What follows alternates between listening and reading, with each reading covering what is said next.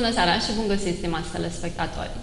Într-una dintre edițiile noastre anterioare, în care am discutat cu invitații mei de atunci despre relația familie-școală, s-a conturat o idee generoasă, și anume aceea că relația elev-profesor este unul dintre factorii în funcție de care se poate discuta despre reușita școlară sau despre eșecul școlar.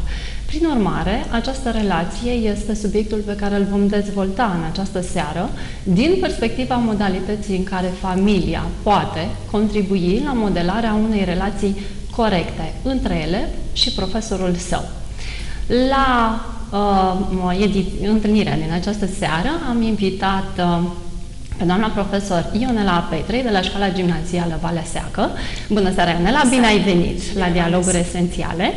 Domnia sa a venit uh, însoțită de două dintre elevele sale. Este vorba despre uh, Monica Iacoboaia. Bună seara, Bună Monica! Seara. Bun venit! Bine v-am găsit! Și Elena Davidoaia. Bună seara, Elena! Bună seara! Sper să vă simțiți bine la întâlnirea din această seară. Ceva un, cât de cât diferită de uh, întâlnirile voastre cu doamna profesor în uh, mediul școlar. Uh, pentru început, doamna profesor, ce-ar fi de spus despre importanța acestei relații în procesul educativ, cel pe care îl desfășurăm zi de zi în mediul școlar? Consider că uh, relația elev-profesor este foarte importantă Um, mai ales uh, din punct de vedere al um, legăturilor care se stabilesc între cei doi actanți ai actului uh, instructiv-educativ. Uh, trebuie să ținem cont, în primul rând, de obiectivele educației și apoi și de psihologia, de mentalitatea uh-huh. tinerilor din ziua de astăzi.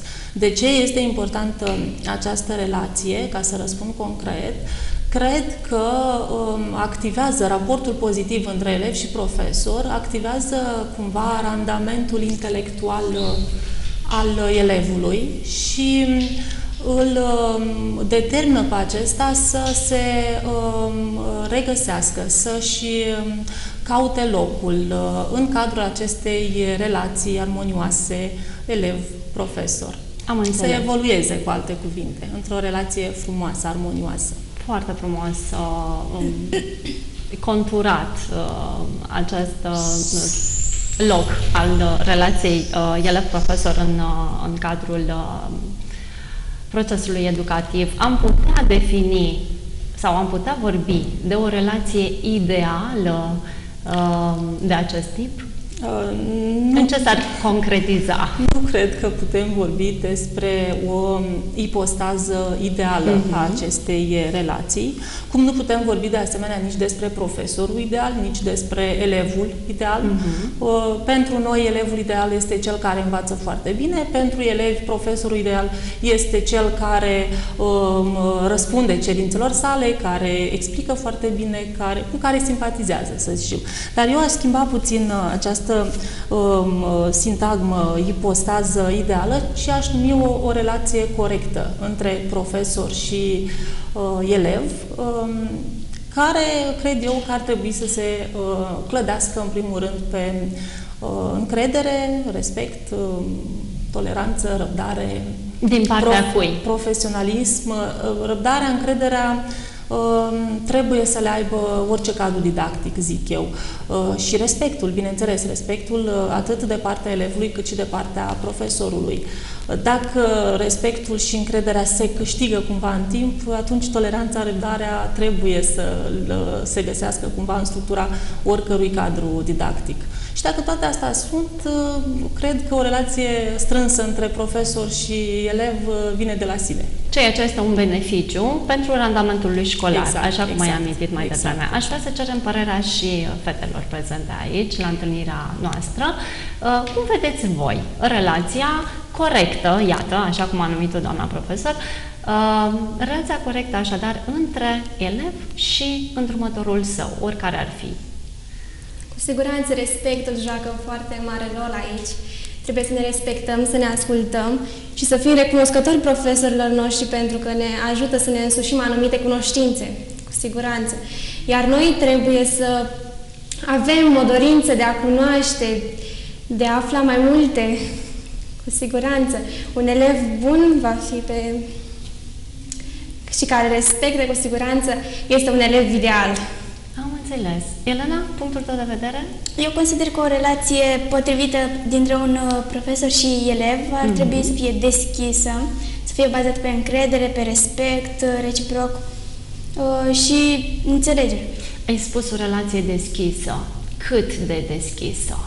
Sau de... ce înțelegi printr-o relație deschisă între profesor și uh, Desigur că ar trebui să aibă o anumită limită. Așa. Uh, ar să fie sinceri între ei, să vorbească deschis, să spună unul altuia neplăcerile. Am înțeles. Uh, atunci când sunt unele inconveniente, și elevul să aibă curaj a le exprima și profesorul să aibă disponibilitate pentru a le explica pe înțelesul lor. Uh, Ionela, uh, Elena a pomenit de limite. Sunt da. niște realități de luat în calcul în cadrul acestei relații? Da, consider că limitele sunt absolut necesare. Așa. Dar uh, dacă vorbim de limite, uh, mă gândesc că n-ar trebui să le avem în vedere pe alea care obstrucționează cumva relația, acele limite care îngrădesc această relație, uh-huh. ci din potrivă cele care vin să întărească și să sprijine uh, relația elev-profesor. Și bineînțeles că vorbim de limite ale bunului simț, modestie, uh-huh. atitudine pozitivă, respectuoasă față de cadrele didactice. Aici este zona în care putem să ne oprim asupra limitelor. Uh, limitele trebuie să fie și de o parte și de alta. Dacă ne gândim că nu ne place nouă ca profesor un elev să depășească limita, mă gândesc că și noi, la rândul nostru, ar trebui să nu uh, depășim și noi cu elevii noștri, uh, știu eu, uh, o anumită limită. De exemplu, să avem grijă la tonalitățile uh, folosite, să evităm uh, situațiile conflictuale, tensionante, chiar și, de ce nu, ieșirile. Să ne controlăm uh, cât putem, să nu avem uh, ieșiri, uh, știu eu, ne la locul lor. Deci adică... limitele sunt de ambele părți, la asta mă refeream. Am Trebuie înțeles. să existe uh... Uh, și de o parte și de alta. Vreau să subliniez faptul că uh, se impune, mai ales din partea profesorului, a face uz permanent de acele calități pe care le-ai subliniat, toleranța, înțelegerea și mai ales răbdarea. Pentru că ele ar putea uneori, uh, sau lipsa lor mai degrabă, ar putea uneori să ducă spre încălcarea unor limite. Spune-mi, te rog, dacă uh, putem vorbi de un anumit început al clădirii, al educării elevului, copilului, um, în ceea ce privește această relație dintre elev și profesor um, în ipostază corectă, așa cum ai Sigur că da. Uh, consider că un elev se formează încă din primii ani de viață. Uh-huh. Și aici intervine uh, rolul familiei. Zic eu, familia poate să favorizeze relația elev-profesor sau la fel de bine poate să o uh, denatureze, să o afecteze într-un mod negativ. Familia, așa cum zicea și Tudor Arghezi, este baza societății. Acolo se formează, de fapt, elevul nostru, acolo își uh, dezvoltă anumite valori, să zicem așa, uh, de la părinți le, le preiau, valorile umane, nu adevărul, binele, frumosul, credința, uh, toate se găsesc în familie. Familia, deci discuțiile despre această relație ar trebui să înceapă foarte, foarte, foarte devreme, de foarte înainte de chiar da. ca um, tânărul să înceapă formarea lui uh, exact. în mediul școlar. Și, uh, de ce nu, um, o atitudine pozitivă față de profesor poate fi insuflată de către părinți, elevilor și la grădiniță chiar de la grădiniță, să vorbească frumos despre doamna educatoare. Uh, atitudinea asta e naturală. Dacă elevul va vedea în familia lui că părinții respectă și au atitudine naturală și pozitivă față de, de profesor și el va face cu siguranță la fel. Monica, care sunt uh, atenționările uh, pe care cel mai des uh, ți le fac părinții cu privire la modul în care tu trebuie, din postura ta de elev, să te comporți uh, față de îndrumătorii tăi de la școală? Să-mi respect și să-mi iubesc cât mai mult profesorii și să le mulțumesc că mă educă, că mă formează cumva. Mm-hmm. Mm-hmm. Te îndrumă să ai o atitudine de, de recunoștință față de ei, da? Nu știu, da, ți s-a întâmplat să um, te simți uneori prea solicitată sau să te simți nedreptățită în notare, pentru că se întâmplă destul de frecvent în cazul unora dintre elevi și să le împărtășești acest lucru părinților tăi? Da, mi s-a întâmplat. Și Dar atitudinea dumnealor care a fost? Ce fel de sfaturi ți-au dat atunci când tu te-ai arătat nemulțumită de felul în care ai fost uh, tratată la școală? Mi-au spus să accept, pentru că asta este, un, este doar o notă, este doar ceva trecător uh-huh. și că cunoștințele contează până la urmă. Ceea ce avem noi în cap, nu neapărat ce este scris într-un catalog. Am înțeles. Elena, ție ți s-a întâmplat? Sigur că mi s-a Ce fel de discuții ai cu părinții tăi despre uh, relația pe care ar trebui să o ai uh, în școală cu profesorii tăi? În primul rând, uh, spun că atunci când am vreo nemulțumire la o notă sau așa, ar trebui să mă controlez și să um, spun că la următoarea, următorul test voi lua sigur o notă mai mare, voi învăța, uh-huh. să-mi respect uh, profesorul, să-l iubești, să-l consider chiar un părinte. Am înțeles. Uh, însă, mai devreme, de exemplu, doamna uh, profesor amintea că respectul și încrederea uh, nu este suficient să-ți spună cineva, respectiv părintele, trebuie să iubești, trebuie să ai încredere în dascălul tău. Cum vi s-a întâmplat vouă? Cine credeți că a avut un rol foarte important în a vă cultiva această încredere în dascălii voștri? profesorii prin felul în care au relaționat cu voi sau prin ceea ce v-a insuflat părinții de acasă prin aceste discuții? Monica? Cu siguranță atitudinea profesorului față de uh-huh. noi ne creează un mediu, ne ajută să înțelegem și să respectăm. Vă simțiți iubiți în, exact. în relația cu profesorii voștri și atunci sunteți și voi motivați să răspundeți în același fel. A, și uh, discuțiile cu părinții au avut în cazul tău uh, relevanță, adică te-au ajutat să privești corect această relație? Ce părere ai? Da, uneori. De obicei, eu îmi respect foarte mult profesorii și admir foarte mult pentru ceea ce fac pentru mine. Sunt recunoscătoare și nu neapărat N-au fost foarte dese aceste intervenții ale da. părinților, da? Elena, în cazul tău? N-a fost cazul, cazul da. Elena, în cazul tău, cum a fost? Uh, a fost... Uh, am avut și discuții cu părinții mei, mi-au spus uh,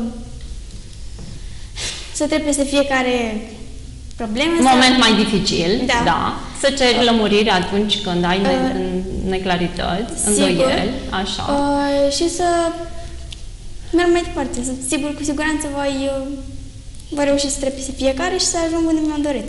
O încurajare din partea părinților care... Deci și atitudinea părinților tăi a fost pozitivă în ceea ce privește modul tău de a relaționa cu da. îndrumătorii tăi. Foarte frumos. Um, din acest punct de vedere al, al uh, atitudinii părinților vis-a-vis de uh, felul în care uh, copiii se exprimă acasă legat de activitățile sau de profesorii pe care le îi au. Cam care ar fi cadrul potrivit al discuțiilor părintești? Ce aspecte mai exact ale relației elev-profesor Uh, ar trebui discutate acasă și în ce fel. Ești și părinte. Da. Și acum te întreb din această postură, ce fel de discuție ai purtat tu? Cred că încep prin a spune, în primul rând, ar trebui noi, ca părinți acasă, să evităm discuțiile uh, la un mod negativ despre un profesor. Indiferent că ne place sau nu, în fața copilului acasă ar trebui să fim rezervați și să nu acceptăm să uh, vorbim, uh, știu eu, lucruri pe care uh, nu le știm nu le poate sigur înțelege sau obiectiv nu le poate până la urmă. copilul și atunci mm-hmm. transmitem copilului acea uh, imagine proastă creată acasă în familie și e greu să uh, putem, uh, știu eu, controla, cu această controla imagine. la școală mm-hmm. uh, ideea deja creată acasă de părinți. Uh, nu o să avem așteptări din partea acelui copil uh, referitoare să-l mai respecte pe uh, profesorul X în momentul în care acasă a auzit destule despre el. Aici vreau să punctez uh, lucrul ăsta că trebuie să evităm cu orice preț să vorbim acasă ca părinți despre profesorii de la școală. Și apoi ce aspecte? Aspectele pozitive să le vorbim uh, acasă, să scoatem în evidență ce este frumos la școală, să încercăm să uh, mergem noi ca părinți la școală și să vedem uh, lucrurile bune de acolo, că se întâmplă și lucruri bune, nu numai aspecte negative. Asta să le discutăm acasă. În niciun caz cum merge profesorul, cum se îmbracă, ce face, știu eu, lucruri care nu țin de profesia, de profesie, lui, da. ci de și alte laturi ale personalității. că noi, părinții, suntem model pentru copiii noștri și ceea ce o să vadă acasă, Iată. Ă, asta o să facă și ei. Și atunci cred că este foarte importantă uh, relația asta și a părintelui cu elevul, nu numai a elevului cu, profe, cu profesorul. Tocmai de aceea eu văd uh, această relație în strâns, a elevului cu îndrumătorii săi, nu în strânsă legătură cu uh, părintele. Cu este, cel, exact. este un triunghi este, mai degrabă, este nu este o relație, da? Elev, uh, părinte exact, și profesor. Exact. Uh, iar uh, rolul părintelui uh, este, în mod cert, unul foarte important. Practic, în atitudinea elevului vis-a-vis -vis de disciplin, de o anumită disciplină de, de studiu sau față de școală în general. În această atitudine se văd și discuțiile purtate în cadrul familiei și trebuie înțeles Poate, ar fi bine, nu? Să, să afirmăm acest lucru, uh, înțeles faptul că de această relație depinde uh, atașamentul, atașamentul copilului de activitatea lui școlară, da. care contribuie până la urmă la dezvoltarea lui uh, și formarea lui pentru viitor. Uh, ai subliniat uh, faptul că există și factori care pot denatura această relație, o pot transforma, nu? Uh, în ceva uh, nedorit. Uh, da. Factori sau care ar fi cauzele, cauzele zicem, da, exact. Uh, uh, care țin tot de mediul familial până la urmă uh-huh. și aș putea să le numesc ca fiind supraevaluarea sau supraaprecierea uh, și subestimarea. Dar, în definitiv, cred că părintele nu are chiar o percepție atât de greșită față de rolul uh, educativ al uh, școlii. Uh, cred doar că suntem racordați la um, o societate mereu în schimbare. Părinții pun foarte mult accent pe spiritul acesta competitiv, vor copii elitiști. Uh-huh. Uneori mi se pare că pun pe umerii lor chiar propriile neîmpliniri sau vise pe care n-au reușit ei să le să le ducă la bun sfârșit. De exemplu, o meserie uh, pe care părintele n-a reușit să o practice, uh, o transmite cumva sau o proiectează cumva în viitorul copilului, uh, pentru că acea meserie aduce faimă, bani, prosperitate, uitând de fapt de capacitățile propriului copil. Și din acest motiv spun că unii părinți vin și supraevaluează, supraapreciază copilul, că deja știe tot și nu mai are nevoie de de, îndrumări din partea unui profesor. de la școală, pentru Așa. că acel uh, copil este un mic geniu. Din potrivă, vine poate la ședință și cu o atitudine de protest față de orice și de oricine, uh-huh. pentru că așa consideră el. Copilul lui știe prea multe și școala nu mai ajută cu nimic. Nu se fac lucruri de actualitate la școală. Sau, de cealaltă parte, sunt părinți care își subestimează copiii, uh, vin la școală, puneți doamna acolo un 5 să treacă clasa, pentru că asta e important. Adică subestimarea și supraevaluarea uh, sunt, uh, zic eu, cauze sau factori care pot duce la o deformare a relației elev-profesor. Care ar fi uh, atitudinea corectă? vis-a-vis -vis de aceste lucruri. Vis-a-vis de aceste uh, lucruri. Părintele să, să se informeze mai mult de uh, adevăratul rol al școlii, de scopul uh, școlii în viața elevului. Și să încerce să fie obiectiv, cred. Să fie prezent, în primul mm-hmm. rând, în viața copilului, să fie obiectiv, să vină la școală, să se informeze, să vadă dacă acea activitate sau știu eu ce s-a întâmplat la școală și-a atins obiectivele și uh, apoi uh, venim uh, știu eu, să reclamăm ceva sau uh-huh. să spunem că nu ne convine, nu ne place, nu se fac lucruri la școală cum ar trebui să se facă sau știu eu. O legătură mai strânsă, în primul rând, ar trebui cu părintele și apoi și cu școala. Să cerem părerea și fetelor privind această chestiune uh, în cei șase, șapte ani de școală pe care aveți fiecare dintre voi, opt, Monica, nu? Ești în clasa 8 așa, uh, ați întâlnit și cazuri sau ați văzut elevi nemulțumiți care și-au exprimat într-un mod direct această nemulțumire. Este sau nu este corect? Nu mi se pare deloc corect. Nu apreciază de ajuns profesorul, nu învață absolut Aceasta deloc. se vede în reacția lor, da? da. Așa. Ei se supraapreciază pe ei înșiși uh-huh. și nu, nu se poate discuta cu ei, nu le putem schimba percepția. Ei știu doar să critique și să aducă acuze. Ce pierde este. elevul care are o asemenea atitudine? Pierde foarte multe. Pierde o relație cu un om minunat, mai întâi de toate. Apoi... Când spui om minunat, te gândești la oricare dintre îndrumătorii pe care îi aveți la școală, da? da? Așa. Sunt oameni foarte buni și speciali pe care mă bucur că am avut ocazia să-i am în acești ani de școală, să mă îndrume. Așa. Deci pierde uh, o relație cu oameni de la care ar avea ceva de învățat. Și cunoștințele pe care oamenii aceia le dețin și le expune. Și de care ei s-ar putea bucura. De care s-ar da. da, exact. Așa, și uh, pierd până la urmă uh, o etapă prețioasă din formarea lor pentru viitor. Elena, punctul tău de vedere care este? În astfel de manifestări ale colegilor tăi, tu ce vezi?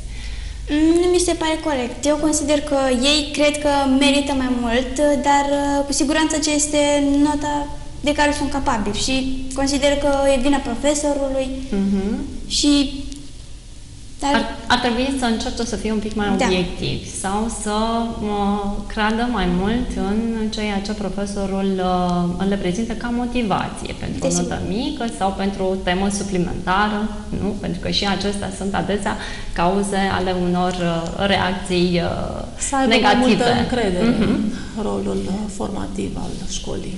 Da, iată, o problemă uh, de discutat, de analizat. De asemenea, de ce și-au pierdut tinerii încrederea în rolul formativ al școlii, poate pe nu viitor? se mai pliază, probabil, pe actualele cerințe.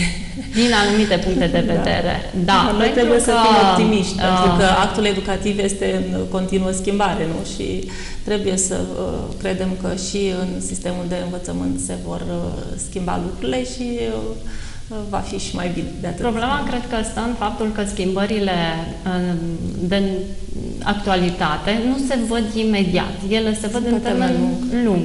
Exact. Și atunci uh, tendința celor care judecă din exterior, care privesc din exterior și analizează uh, acest aspect, uh, este de a se raporta la un trecut foarte îndepărtat, pe care îl consideră prezent în continuare. Deci dezinformarea.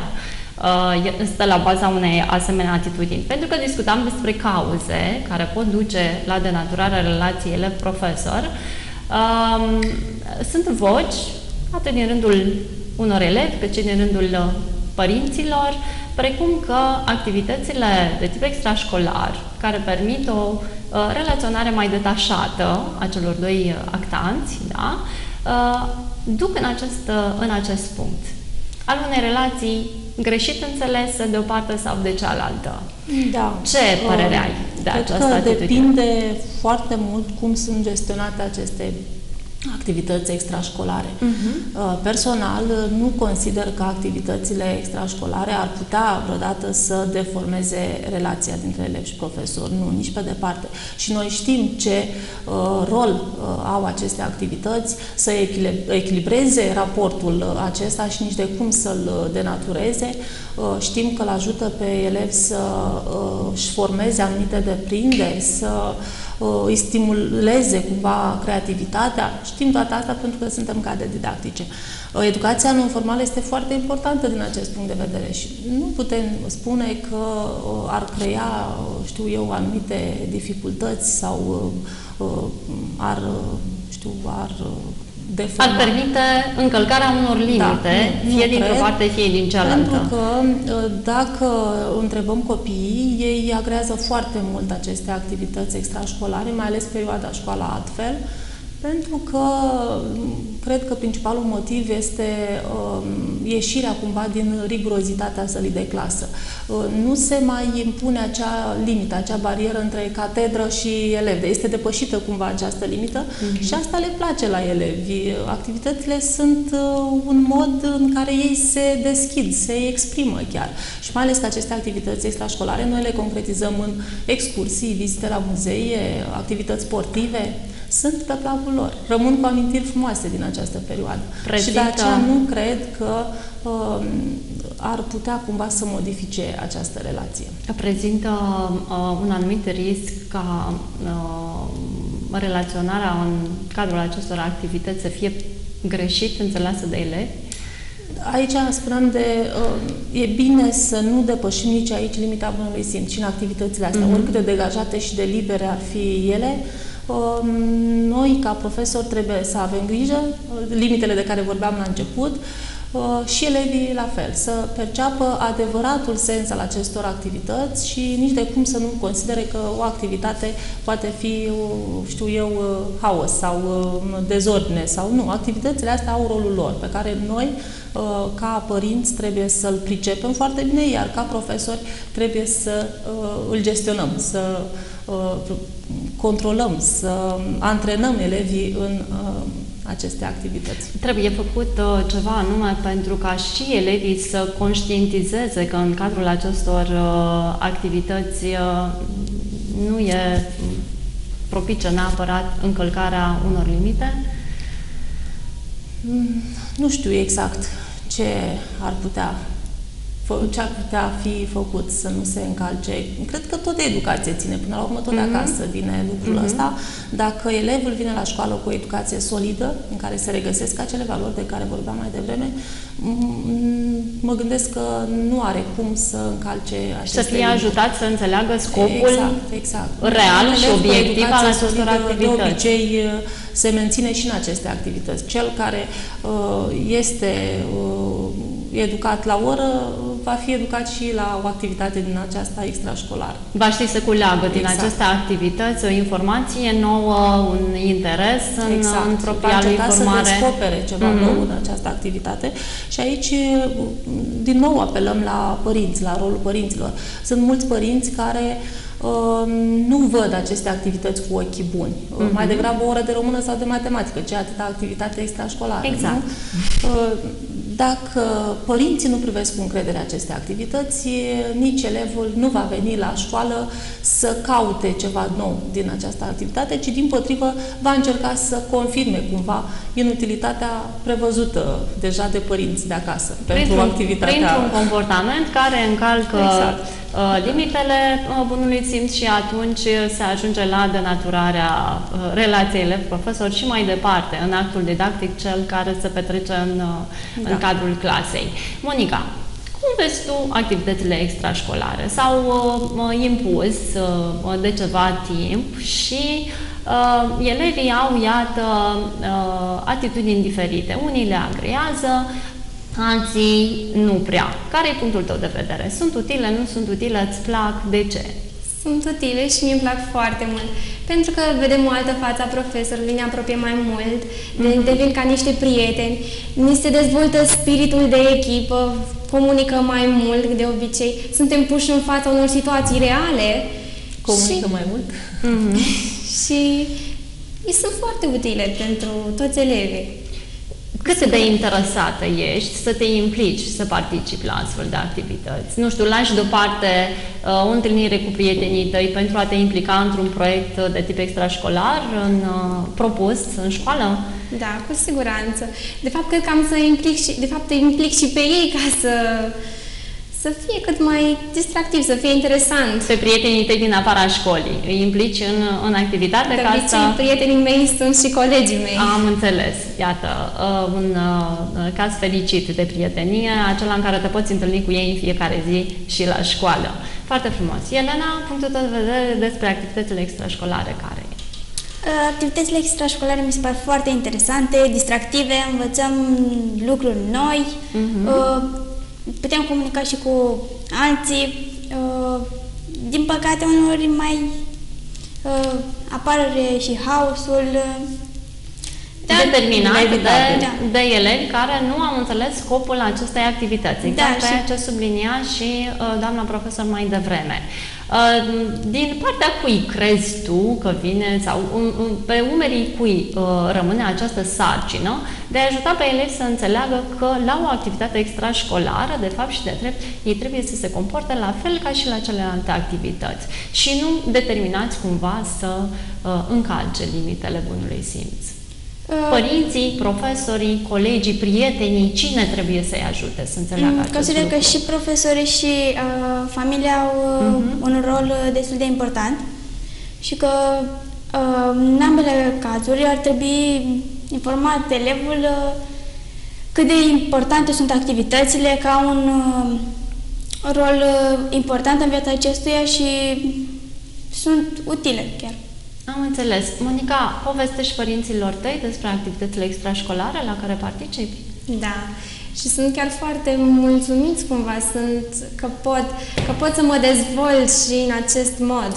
Și altfel decât în uh, educația cu care suntem obișnuiți, cea tradițională. Am înțeles. Și curiozitățile lor vis-a-vis de felul în care tu te, te implici în aceste activități, care, care sunt?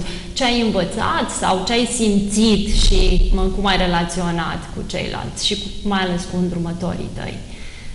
Ambele lucruri, și ce am învățat și ce, cum am simțit, cum s-au întărit relațiile, cum a decurs, cum au decurs lucrurile. Te încurajează să participi la aceste Da. uh, activități? Sunt- Te susțin? Pentru că sunt uneori susținută de participarea părinți. la proiecte extrașcolare înseamnă și mă, sprijinul financiar, material din partea familiei uh, sau uh, uneori îți spun nu poți să participi, lasă pe altă dată. Se întâmplă și așa ceva? Nu, mă susțin întotdeauna. Sunt, sunt ca niște prieteni pentru mine și mă ajută. Întotdeauna au fost uh, de partea mea, fără să pot spune dacă pot Și să te-au spun așa. încurajat să te implici permanent, da? Conștienți Da. cumva fiind de faptul că aceste activități au un rol uh, formativ uh, foarte semnificativ. Uh, Ionela, uh, sunt în școală sau activitatea în cadrul școlii uh, și de asemenea relația elev-profesor uh, este reglementată și prin uh, anumite regulamente, nu cu prevederi clare, uh, atât pentru profesor, atât Școlare, cât și nu? pentru Regulamentele elevi, școlare. regulamentele școlare. Uh, Crezi că existența acestora și um, aspectul uh, punitiv al unor precizări, da? al uh, unor cerințe, atât uh, în ceea ce privește profesorul, cât și al, în ceea ce privește elevul, sunt beneficii sau mai degrabă uh, Sunt binevenite, de ce Niște nu? piedici. Regulamentele școlare sunt binevenite, astea impuse de școală, dar dacă este Exact. să ne referim la cele regulamente uh, ale Consiliului elevilor, nu? Acele... Uh, nu Le știu avem, exact- le nu avem, știu în exact la care vedere, vă le referiți. avem în vedere pe Ambele. toate, și pe cele impuse de școală. De De, școală. obicei, tinerii nu uh, reacționează foarte bine atunci când uh, aud nu ai voie sau trebuie. Trebuie să faci sau nu ai voie să faci. Uh, Iar uh, modalitatea de formulare a regulilor din cadrul acestor regulamente, cam aceasta predomină. Uh, și mă, de aceea mă gândesc că s-ar putea ca aceste regulamente să denatureze cumva, să, să uh, mă creeze unele dificultăți Cele tocmai în școlare relațiile care sunt profesor. prevăzute acolo niște reguli exacte Mhm. trebuie respectate și nu văd de ce să denatureze. Cele care, uh, dacă vă referiți acum la statutul elevului, la, la regulamentele astea unde Da, că este un elevul subiect de beneficiază, noutate. unde elevul Așa. beneficiază de foarte multe libertăți, uh, da, pot fi înțelese greșit aceste regulamente, pentru că libertățile astea vin să se așeze deja pe uh, un uh, anumit uh, tip de educație, pe un anumit uh, nivel. Da? Dacă elevul nu are acel nivel de educație, o să înțeleagă cu siguranță greșit ceea ce prevede regulamentul acolo. Uh, de exemplu, mă gândeam la uh, explicarea notei. Știți că este acolo uh, un uh, paragraf în care noi, profesorii, trebuie să explicăm nota. Uh, De acord și cred că asta făceam uh, și până Și acum. până acum, sigur că Uh, da. Este normal să explicăm elevului de ce a luat atât, să motivăm cumva. Dar trebuie să facem distinția clară între uh, negociere și explicare. Da? Una este să explici pro, elevului nota și una să negociezi cu profesorul, că de fapt nu-ți place nota și regulamentul asta spune, îmi permite să vă spun că nu mi-ați spus notă bună și uh-huh. să, să negociez efectiv nota. Ar fi un aspect. Uh, alt aspect, uh, tot uh, extras din statutul elevului, să zicem, folosirea telefoanelor. Este permisă în noul statut al elevului. Într-o anumită limită. Cu, cu la cerința profesorului. Dacă profesorul cere elevilor să vină cu telefoane pentru a căuta nu știu ce document, acolo este permis. Dar nu știu cum vor înțelege toți elevii acest lucru. Mulți Mai ales cei care au oarecare dependență exact. în folosirea telefonului în Mulți alte scopuri. Ei îl vor folosi și pentru altceva, pentru că este permis să ne jucăm sau știu eu. De asta zic, regulamentele astea trebuie înțelese bine. Dacă le înțelegem greșit, uh, le aplicăm le greșit, interpretăm uh, eronat uh-huh. și uh-huh. bineînțeles că toate astea duc la o uh, dezagregare a acestei relații. Am înțeles. Noi ne-am apropiat de momentul final al întâlnirii din această seară. Vă mulțumim pentru că ați fost de acord să fiți prezente aici și să vă exprimați punctul de vedere, cu atât mai mult cu cât această relație elev-profesor, așa cum ați subliniat-o voi, este una care contribuie în mod uh, evident la eșecul, după cum spuneam, sau la reușita școlară. Vă, fetelor, vă doresc mult succes și să aveți parte de îndrumători de la care să aveți de învățat doar lucruri bune. Stimați telespectatori, după obișnuita pauză de publicitate, vă aștept cu rubrica Oamenii Viitorului. Rămâneți cu noi!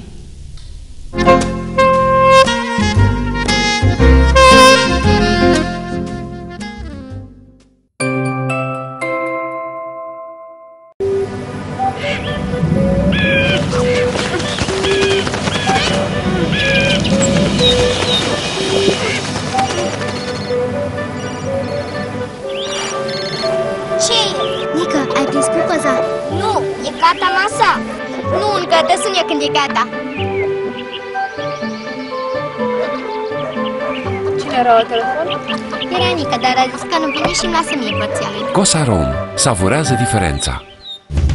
Un cămin fericit înseamnă liniște. Cu tâmplăria pe WC Tomplast ești ferit de orice disconfort, praf, zgomot sau frig.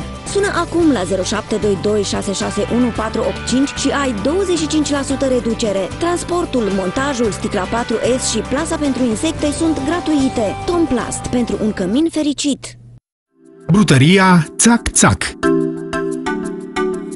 aproape două decenii reușim să facem ca produsele noastre să fie asociate sunetului atât de cunoscut al morii. Țac-țac însoțește cu pasiune și răbdare tot ceea ce știți că se învârte mai bine într-o brutărie cu adevărat domnească. Vă așteptăm să prindeți miresmele cuptoarelor unde pâinea și produsele de patiserie poartă pe cetea domnească la brutăria Țac-țac. În 10 ani am construit 514 km de drumuri, oferind o infrastructură corespunzătoare pentru 57 de localități din mediul rural și urban. De 10 ani comercializăm materiale de calitate, beton și fier beton, cărămidă și vecea pentru zidării, termoizolații, finisaje, acoperișuri și garduri. Vino și tu la depozitul din Târgu Frumos, strada Justiției, numărul 25, pentru a beneficia de o gamă largă de produse. Toți clienții beneficiază de consiliere tehnică, certificate de calitate, livrare gratuită și descărcare cu Macaraua. Echisam, pasiune pentru drumuri, materiale de calitate. Pentru noi, conceptul de personalizare semnifică un crez, un scop, ceea ce facem în fiecare zi. Intenționăm să extindem acest concept la absolut tot ceea ce ne înconjoară, pentru că noi credem în produsele și spațiile care ne reprezintă. Tocmai de aceea, atunci când ai nevoie de tâmplărie pe WC, apelezi la noi. Un partener pentru viitor.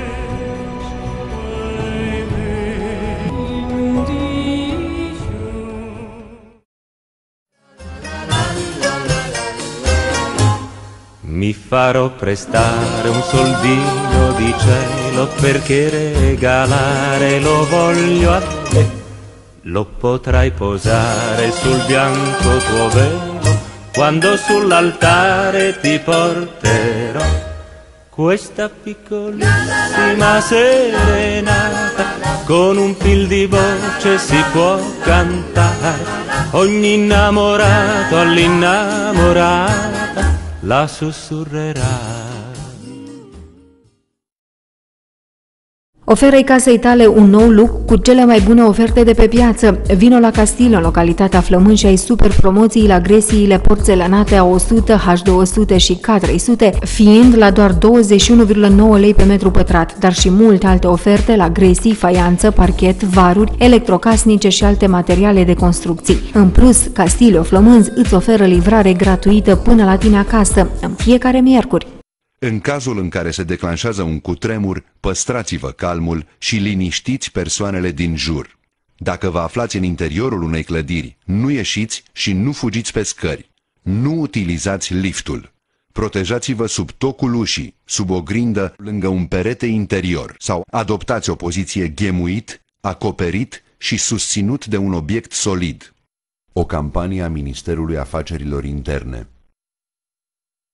Școala Poziceală Feghiaș, acreditată de Ministerul Educației, face înscrieri la următoarele specializări. Asistent medical generalist, asistent medical de farmacie, asistent medical balneofiziokinetoterapie și recuperare, analist programator, cosmetician, stilist, tehnician masăr, proiectant decorațiuni interioare, asistent manager, tehnician în activități de secretariat, asistent de gestiune, finanțe, contabilitate, funcționar bancar, agent vamal, avantaje, taxe în rate, stagii de practică în străinătate, burse de merit, posibilități de cazare, relații și înscrieri în Iași, strada Cuzavodă numărul 1, telefon 02 232 sau feg.ro Școala Poziceală FEG. Pentru un viitor așa cum vrei tu.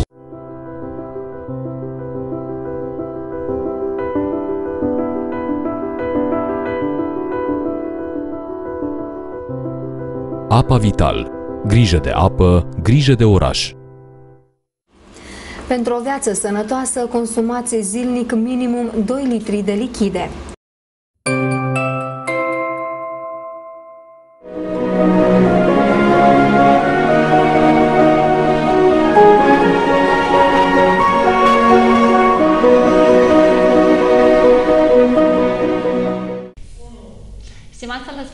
Spectatori, omul viitorului pe care vă propun să-l cunoașteți în această seară este unul dintre elevii școlii gimnaziale Valea Seacă. Se numește Duca Alina și spunem bun venit la Dialoguri Esențiale. Bine ai venit, Alina! Uh, bună seara și bine v-am găsit!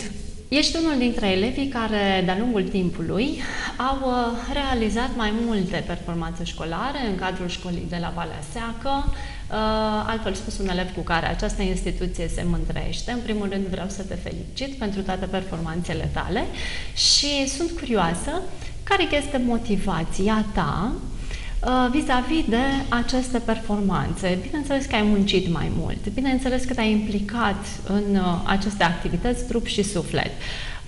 Pentru tine, pentru profesorii tăi, pentru părinții tăi, care este motivația ta? Uh, voința și dorința de a avea un viitor cât mai frumos mă face să doresc să fiu din ce în ce mai bună. Uh, dar și dorința de a trece cu brio peste examenele care mă așteaptă. Ești în clasa 8 -a, primul examen este cel de la sfârșitul acestui an de Sigur, școlar. Uh, cât de pregătită te simți ca să-l uh, uh, întâmpini? Foarte pregătită, mai ales la matematică. Această vacanță, pe parcursul săptămânii trecute, realizând 30 de teste la matematică. Ești foarte muncitoare, apreciez acest lucru și iată, te pot da drept exemplu elevilor care se pregătesc pentru acest examen. Nu este imposibil să lucrezi 30 de subiecte într-o săptămână, așadar. Matematica este una dintre disciplinele tale preferate? Da. De ce preferi uh, această disciplină? Te pliezi tu mai bine pe cerințele ei sau datorită poate și profesorului cu care lucrezi la această disciplină? Uh, iubesc matematica pentru că este o știință complexă și riguroasă și care mă ajută să gândesc și la alte materii. Uh, merg pe premiza gândesc, deci exist, dar bineînțeles, mă ajută și domnul profesor, care îi mulțumesc mult, domnul profesor Ila de Claudiu. Am înțeles, foarte frumos să-ți exprimi recunoștința față de cei care contribuie la formarea ta. Uh, dacă ești de acord, aș vrea să discutăm puțin despre rezultatele tale uh, la concursurile școlare la care ai participat. Uh, te las pe tine să ne spui care sunt cele din acest an sau cele care ți cele mai aproape de suflet. Păi, uh, în cadrul gimnaziului am reușit să obțin 8 uh, mențiuni la Olimpiadele și concursurile județene, mhm. iar uh, anul acesta am reușit să, mențin, să obțin mențiune la lingvistică, matematică și fizică și la concursul Je parle français. Îți place limba franceză? Da. Este una dintre disciplinele tale preferate, ca și matematica? Uh, sigur, dar uh, printre primele uh, discipline pe care le, uh, le prefer sunt uh, matematica, fizica și chimia. Am înțeles, asta uh, ne-ai spus uh, uh, deja, dar uh, mă gândeam că poate ai găsit, uh, pentru că ai spus că mm, te preocupă acest aspect, ai găsit unele legături între matematică și, iată, limba franceză, de exemplu, pentru că sunt două discipline care vin din zone diferite, nu? Matematica este o disciplină Sigur. reală, pe când franceza este una de tip umanist și mă gândeam că poate ai găsit niște legături, niște asemănări, niște... Și asta motivează și preocuparea ta pentru limba franceză. Ai găsit? Da. Ai găsit legături? Prin ce te-a captat limba franceză? Uh, prin uh, accentul deosebit uh-huh. în care se vorbește această limbă. Nu te-a cucerit în egală măsură limba engleză, pe care de asemenea o studiați, uh, nu? Nu. Nu. Bun. Spune-mi, te rog, care sunt planurile tale de viitor? Ești uh, în pragul alegerii uh, liceului, nu? Pe care da. îl vei urma uh, Uh, mai departe. Ce ai, la ce te-ai gândit? Uh, după terminarea gimnaziului, îmi doresc să intru la liceul uh, Miron Costin, la profilul matematică informatică. Iată, un profil în care predomină disciplina pe care tu o preferi. Și mai târziu, ca profesie, la ce te-ai gândit? Ce vrei uh, să faci? Mai târziu îmi doresc să ajung inginer sau programator ITist, uh, dar, bineînțeles, nu sunt 100% sigură. Uh, mai întâi aștept să, termin, să termin cei patru ani de liceu pentru a mi-acumula un bagaj de cunoștințe cât mai vast, spre a lua o decizie cât mai bună asupra viitorului meu. Și, bineînțeles, aș îmbrățișa cu mare drag și profesia de profesor de matematică. Uh, unul dintre profesorii tăi de matematică de până acum ar putea fi un model pentru o astfel de posibilă carieră în cazul tău? Uh, Sigur, domnul meu profesor de matematică e la de Claudiu. Cel uh, cu care uh, lucrezi acum. Mă gândeam că Sigur. anterior ai avut și alți îndrumători de la care poate că ai furat sau ai înțeles uh, ceva din tainele acestei meserii. Iată, viitorul tău se creionează frumos, luminos. Uh, noi îți dorim să ai parte de succes, atât la uh, examenul pe care îl vei susține în curând, cât și la celelalte examene ale vieții și, uh, de ce nu, peste câțiva ani să ne reîntâlnim aici cu tine, fie în postura de cadru didactic, fie în cea de programator IT, așa cum ne-ai povestit mai devreme. Mult succes așadar și îți mulțumesc că în această seară ai venit să împărtășești cu noi experiența ta școlară de până acum. Vă mulțumesc mult pentru invitație. Cu mare drag. Stimați telespectatori, întâlnirea noastră se încheie aici. Vreau să mulțumesc doamnei Minodora Hoffman pentru imaginea mea din această seară și magazinului Lidia Mod pentru ținută, iar dumneavoastră, nu în ultimul rând, pentru atenție. Ne întâlnim joia viitoare la aceeași oră. Până atunci, toate cele bune tuturor!